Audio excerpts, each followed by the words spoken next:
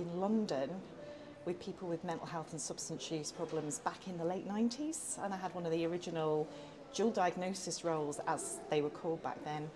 And then from that, that springboarded my career into academia and I did my PhD around training mental health staff to work with people with severe mental illness and substance use. And that's kind of been a big part of my career. What's your sense of where we're at now in terms of helping people with mental illness and substance use issues? Yeah, so I think um, we've it's gone in waves. I would say that when I first started out, it was nothing was happening, and it was a real uphill battle to get anything done in terms of coordinating care between mental health and substance use. We hadn't had a government guidance at that stage in the late 90s. That came in 2002. Um, there was a way, there was a national program which was fantastic and there was regional hubs where we looked at implementation. This is in England, of course. Um, but then that kind of that ended so the the national uh, program ended and then it's been kind of held together more by volunteers than by any sort of funding and we've managed to survive um, the last few years but it feels like now there's a bit of a resurgence of interest in the topic and I think with integrated care there's a real opportunity now to kind of really think about how integrated care can actually facilitate more joined up working for this group as well.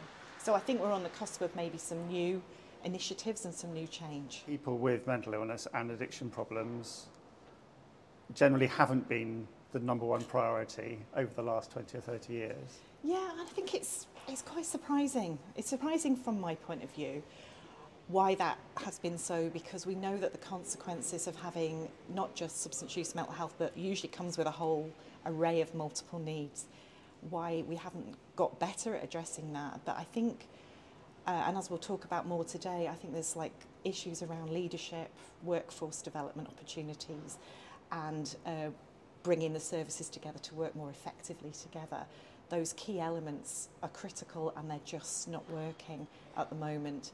Uh, we've got a problem with uh, how we train people. We train people in silos. So if you're a mental health nurse, you look at mental health.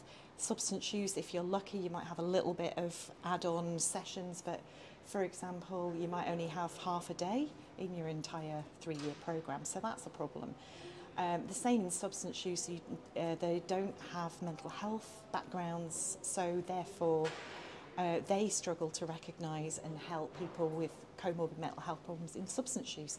So actually we've all got the skills, but we just need to bring them together and share them. And a good example of how that can work is local networks, where you have representatives from all the services who all work together to, um, to kind of share their knowledge and the remits of their service and generally just kind of, just it just becomes more slick basically. Yeah. So we wanted to understand what was going on in the UK, we wanted to find service models and then we wanted to kind of understand how they were working, in what ways. Um, and all the mechanisms involved in that and resource, and including staffing and time and things like that.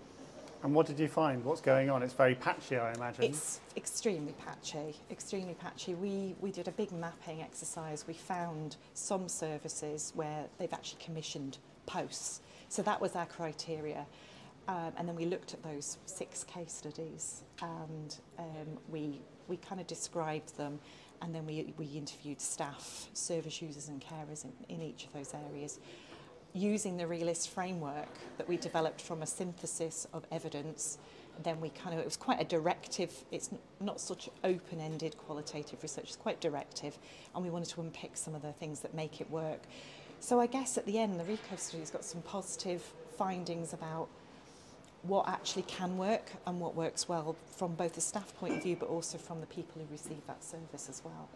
There's a lot of the research around dual diagnosis is often quite negative about what's not working and all the adverse consequences. So we feel we've got a fairly positive message to impart.